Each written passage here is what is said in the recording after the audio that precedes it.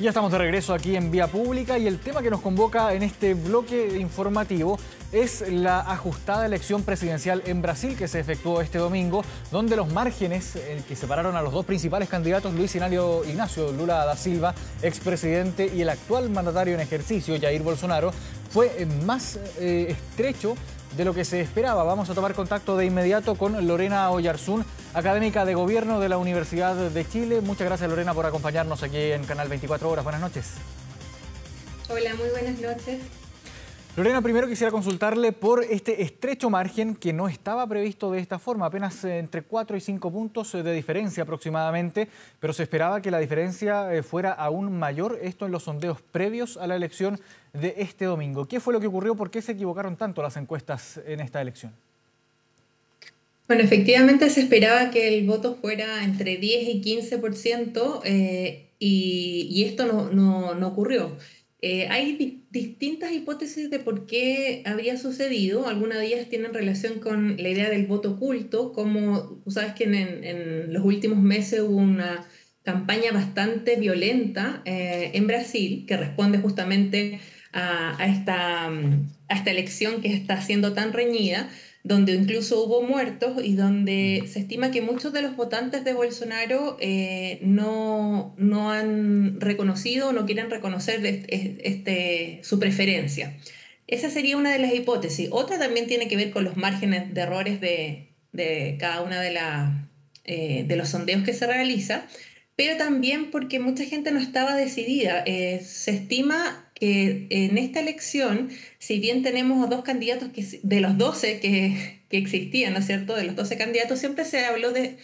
Bolsonaro y Lula que iban a pasar a la segunda vuelta, pero hay que pensar que una gran parte también, un, un porcentaje relevante estaba indeciso, que estaba más bien en contra tal vez de del proyecto Bolsonaro, que son dos proyectos, dos cosmovisiones muy opuestas sobre cómo llevar a cabo la política tanto interna como exterior,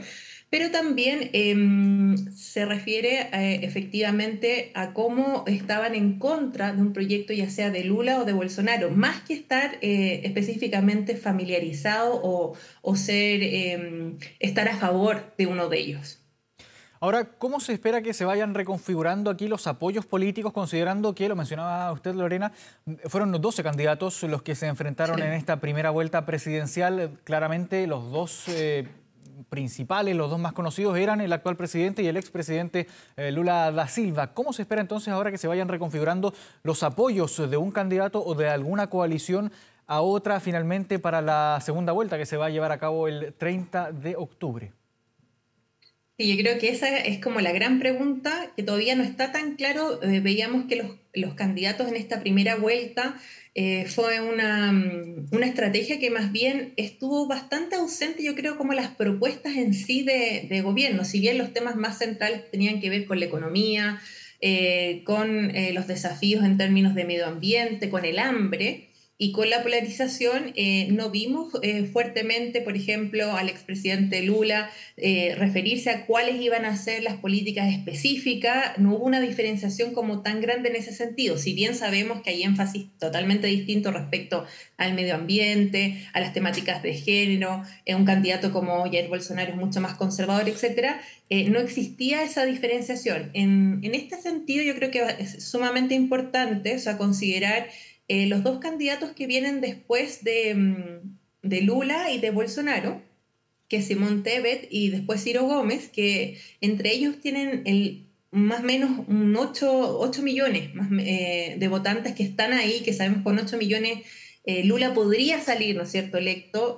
y también Jair Bolsonaro. O sea, yo creo que esos votantes de estos dos candidatos van a ser sumamente relevantes para ellos y en ese sentido también vemos que está fragmentado porque Ciro Gómez fue ex ministro incluso en el gobierno de mm, eh, Lula da Silva eh, y Simón Tebet es mucho más centro derecha, entonces no necesariamente esto va a pasar y van a, yo creo que va a haber una estrategia, se va a intentar buscar em, o seducir a muchos de estas eh, electoras y electores.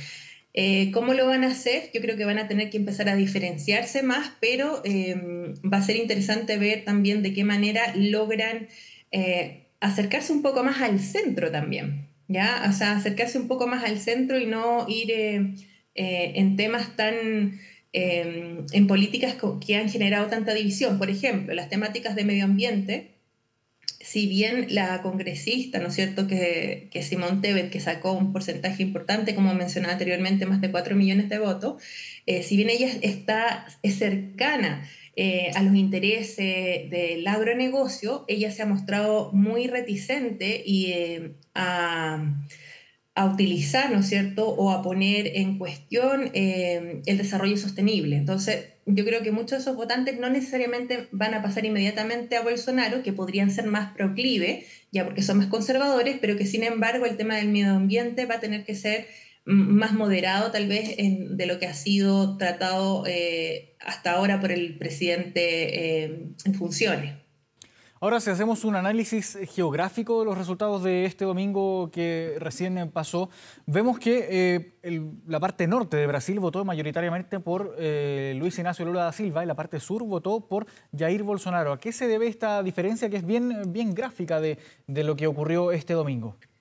Sí, efectivamente, eh, gran parte de, todos los estados del, norte, se habla de la fractura norte-sur. El nordeste podríamos decir que es gran parte de una mayoría mucho más empobrecida eh, y donde también están eh, muchos de los estados más de la Amazonía. Eh, que votaron favorablemente por eh, Lula da Silva, por el expresidente Lula da Silva. Y los estados del sur eh, son estados donde mayoritariamente em, hay mayor, una concentración económica, es más pujante económicamente. Y que efectivamente tal vez ahí la sorpresa fue Sao Paulo, ¿ya? donde efectivamente el, el triunfo fue bastante mayor de Bolsonaro de lo que se esperaba. Entonces, este es una fisura que si bien ya se, estimaba, en las encuestas estimaban que efectivamente iba a haber una mayor em, preferencia por el expresidente Lula da Silva en el norte, eh, hay estados que efectivamente fueron mucho más, eh, fue mayor eh, la amplitud de, ese, de, ese, voto que se obtuvo. Aunque podemos decir o mencionar que, por ejemplo, el estado de Ceará no lo ganó, eh, y como decía, eh, por otro lado, eh, Sao Paulo fue una victoria realmente bastante contundente en el caso de Jair Bolsonaro. Ahora, considerando que queda poquito menos de un mes para esta segunda vuelta presidencial, para este balotaje, ¿Hacia dónde, hacia qué elector debería apuntar cada uno de los candidatos considerando lo estrecho del margen de este, entre este 4 y 5% que los diferenció en las elecciones de este domingo? ¿A dónde debería apuntar Jair Bolsonaro por una parte y dónde debería apuntar también Lula da Silva por otro lado? Eh, como te mencionaba anteriormente, eh, yo creo que acá eh, va a haber una, mm, un intento por seducir a los electores eh, que mayoritariamente votaron ya sea por el candidato Ciro Gómez o por Simón TV. Entonces, en ese sentido, creo que, que son dos opciones totalmente, son distintas, claramente eh, son distintas, pero que no necesariamente va a significar em, que cada uno de estos candidatos tenga que irse más a los extremos, sino yo creo que la estrategia que van a utilizar tanto eh, el expresidente Lula como el actual presidente Jair Bolsonaro, va a ser eh, buscar un poco eh, este centro, como bajar un poco la atención que ha estado hasta ahora, que, es bastante difícil porque efectivamente está muy polarizada la sociedad, se presentan como proyectos totalmente opuestos, ¿ya? En términos ideológicos y además con Pensemos que si bien Jair Bolsonaro tiene un, fuerte apoyo, también tiene un, gran porcentaje de electores que lo rechazan. Entonces, eh, va a ser bastante complejo eh, y además también reconociendo que este Brasil que hemos visto hoy en día es un Brasil que, donde se ha consolidado un, electorado que vota eh, por la opción eh, de Bolsonaro, una opción más conservadora, una opción donde efectivamente em, ven con mucha eh, desconfianza y amenaza eh, el proyecto político de Lula y de la izquierda en general. es un porcentaje importante que no se pensaba, que no se estimaba que estaba, donde hay muchas críticas. Pensemos que además Jair Bolsonaro viene de, de la pandemia, de, de, haber estado haciendo frente a la pandemia donde hubo una, una, gran cantidad de muertes. O sea, eh, Brasil es el segundo país con muertes después de Estados Unidos, con casi 700.000 personas, pero así todo, em, como mencionaba anteriormente, tuvo un gran porcentaje de votación. Ahora esto también hay que entenderlo que es en un marco donde ningún presidente que está en funciones pierde la, la segunda vuelta. Sería un, un dato bastante... Eh, eh, eh, sustantivo considerar, ¿ya? Porque tiene toda la maquinaria política en el fondo para poder ser eh, reelecto, ¿ya? Pero por lo mismo yo creo que se va mm, a agudizar bastante eh, las campañas en redes sociales, van a ser, se han hecho muchos memes, se han hecho, ha, sido bastante violenta, como decía la campaña, donde han habido incluso muertos que, que se, que se han producido lamentablemente pero creo que para ganar electores, ambos candidatos van a tener que eh, bajar un poco eh, los niveles de esa polarización e intentar buscar un poco más los centros, convencer. Porque yo creo que también un elemento que es destacable en esta elección es que no hay una, una renovación. O sea, estas dos opciones, hay muchos de los electores que no están conformes con ninguna de estas dos opciones, ni con la continuidad de Jair Bolsonaro, ni con una elección, reelección de Lula da Silva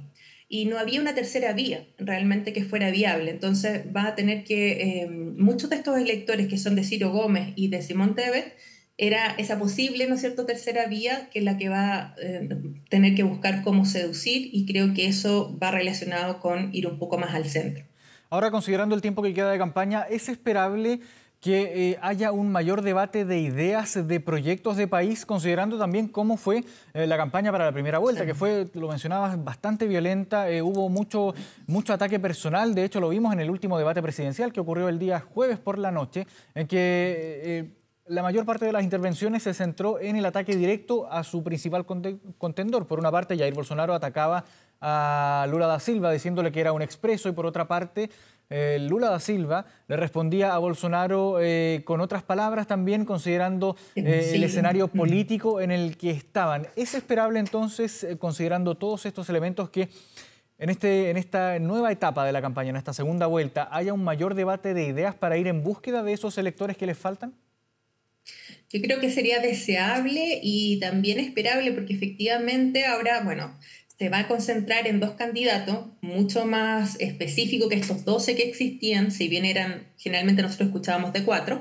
eh, y donde va a ser bastante prioritario ver qué tipo de políticas, por ejemplo, van efectivamente a um, implementarse para combatir, por ejemplo, la inflación, eh, problemas que nosotros también eh, vemos aquí en América Latina en general, pero también en Chile, etcétera, o sea, de qué manera la inflación, el alza de precios, el alza de los combustibles eh, y también eh, el hambre, que como decía, esta es una, una realidad bastante eh, lamentable que efectivamente ha crecido el porcentaje de gente bajo niveles de pobreza y que muchas veces no, no tienen capacidad para poder conseguir alimentos diariamente. Entonces, creo que estos temas que son los que están preocupando a la gente, donde eh, pueden generar efectivamente un, cambio, o sea, pueden generar una diferencia de quién vote, a quién vote, y por lo mismo debería ser un elemento eh, a considerar de los candidatos para dar eh, luces y, y, se puedan realmente advertir las diferencias concretas respecto a cómo se van a abordar estas temáticas. Yo creo que uno de los em, factores que influyó en que Jair Bolsonaro obtuviera estos últimos puntos va relacionado justamente con su última política eh, para combatir, ¿no es cierto?, o para entregar recursos, que fue bastante eh, tardía, podríamos decir, no, no, logró tal vez salir en las encuestas, pero los recursos que se estaban dando a, la, a los sectores más empobrecidos de la población en Brasil. Eh, y de hecho ya ha adelantado eh, que va a entregar más de, no sé, 113 eh, dólares por familia, etc. Entonces creo que esa va a ser una temática que efectivamente va a estar presente en la agenda noticiosa y en la agenda de estos dos posibles estos dos candidatos. Ahora, considerando también cómo ha sido la campaña, cómo ha sido, cómo va a ser, cómo se espera también que sea esta segunda vuelta, considerando la reconfiguración de los apoyos de cada una de las coaliciones de los candidatos que eh, no lograron pasar a segunda vuelta, ¿cree usted, Lorena, que haya espacio para que alguno de los dos candidatos se imponga con mayor holgura en segunda vuelta o es esperable también un resultado tan estrecho o más estrecho incluso que el resultado de este domingo? Creo que todavía está abierto, va a depender mucho de la estrategia que implementen. Em, mientras más estrecho sea el resultado, puede generar más, más fricción y más polarización. O sea, no hay que olvidar también que han habido eh, bastantes si bien no amenazas directas, pero en un momento el, presidente en funciones, Jair Bolsonaro, habló muchas veces, intentó deslegitimar, ¿no es cierto?, el, sistema electoral, eh, posibles sin Pruebas, perdón, sin pruebas y repitiendo también un poco el libreto que había eh, implementado Donald Trump en su momento, cuando perdió la elección Justamente.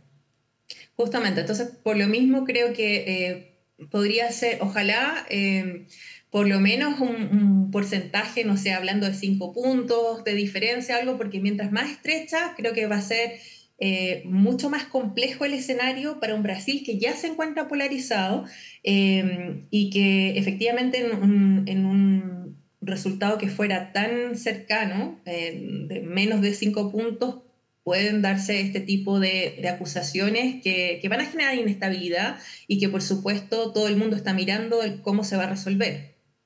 Ahora, eh, una última pregunta, Lorena, antes de culminar ya esta conversación. ¿Cuán relevante es este resultado para América Latina en general y también para nuestro país? ¿En qué escenario queda eh, la configuración de Latinoamérica eh, considerando lo estrecho de este resultado y lo que pueda ocurrir en el día ya 30 de octubre?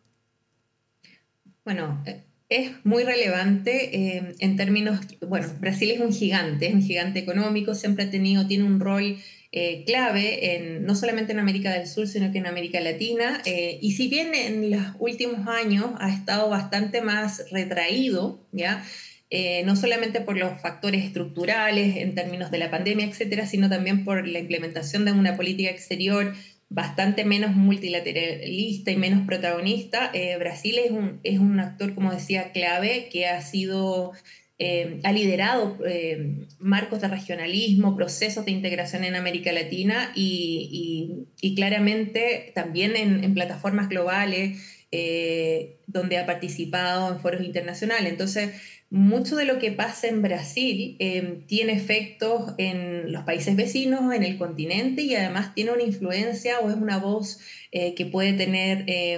mucho que decir a nivel global. Entonces, efectivamente, quien sea, em, sea el presidente y, cómo quede el país en términos de si va a ser una elección muy reñida, que, que haya más polarización, ingobernabilidad, también va a tener efectos en, la región donde efectivamente tal vez no, va a poderse, eh, no van a poder concentrarse en aplicar o, mirar más allá, ¿no es cierto?, si hay problemas internos. Entonces creo que es muy relevante para nosotros y también pensemos en que estamos hablando en un escenario que ha cambiado políticamente, donde si bien no es el mismo, no están las mismas condiciones de lo que se dio a principios del 2000, ¿ya? Eh, sí habría una coincidencia, por ejemplo, si, efectivamente lograra imponerse el expresidente Lula da Silva, eh, donde una coincidencia ideológica con mucho más gobiernos en, América del Sur, lo que podría tener incidencia eh, en, por ejemplo, reactivar algunos proyectos regionales o haber más consenso en algunas temáticas. Bien, Lorena Oyarzún, académica de Gobierno de la Universidad de Chile, muchas gracias por esta conversación sobre el escenario político que se abre en Brasil de cara ya a esta segunda vuelta presidencial. Muchas gracias. Muchas gracias a ti. Buenas noches. Buenas noches.